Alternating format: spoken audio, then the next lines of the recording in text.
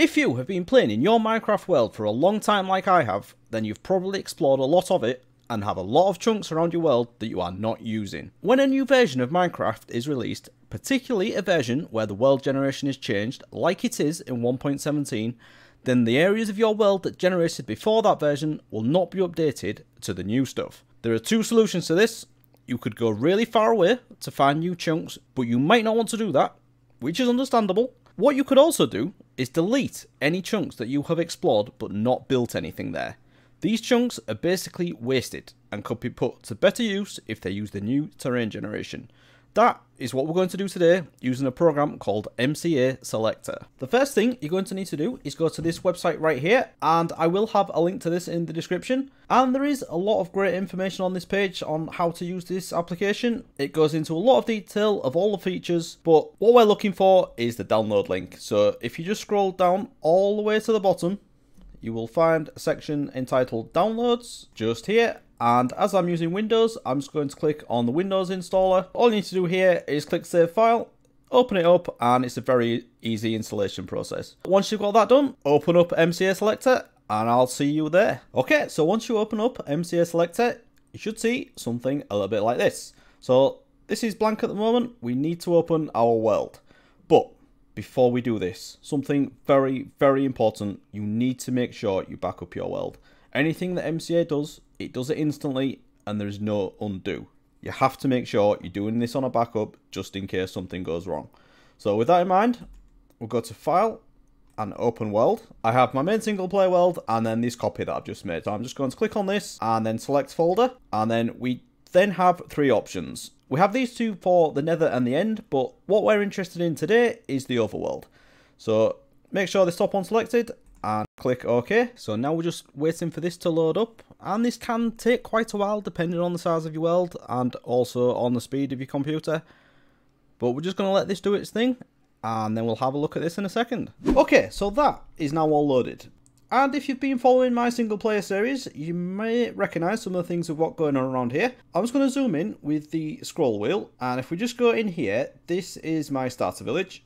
And then here, we've got the quad witch hut perimeter, and then down here, the latest thing I've been working on is my new Guardian farm. And then over here, we've got the Badlands project with the Blackstone Bridge. So those are the main features in this world. Now, what I could do, if I just want to delete everything apart from that, I could just start clicking on the areas around that. So I can just click in these big squares here, and these are the regions when we're zoomed out this far. If we zoom further in, we can just we'll start to see the smaller lines and these are the individual chunks. So we can actually click on these and just delete one chunk at a time or we can click and drag and that will select a range of chunks.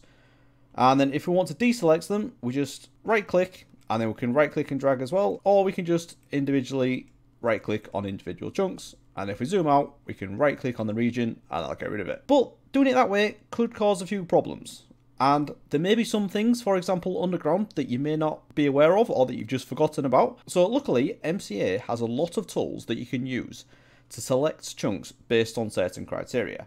And the one that I'm really interested in is the time spent. So if we just go up to the tools menu and then to filter chunks, and the shortcut for that is Control and F, you get this pop up. So what this is doing is selecting chunks based on their X coordinate. And this is the chunk coordinate, not the block coordinate. So I did get confused with that at first, but we're not actually going to use these straight away. What we're going to do is click this button here to add a new filter. And then with this drop down, we can change it to inhabited time. And we do have lots of different things that we can filter by, but the inhabited time I think is the most useful. So if we click on that, what we can then do is set this to less than or equal to any amount of time that you want. And this is in game ticks. So 20 ticks is one second. I think I'm going to do it for 10 minutes. I think that's a good amount of time. You may chop down a couple of trees in an area, you do that in less than 10 minutes, or anything you've flown through, you definitely do that in less than 10 minutes. So 10 minutes in ticks is 12,000.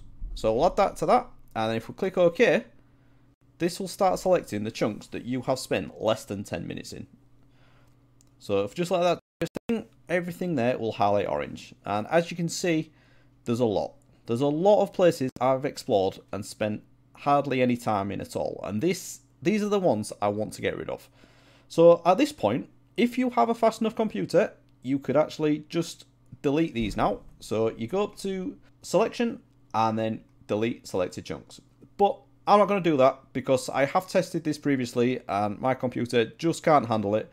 If we look down at the bottom, we have a few properties there and one of them says selected. So that's telling me I have 60,434 chunks that I'm going to delete. With a little bit of testing, I've found out that I can only delete about 10,000 chunks at a time.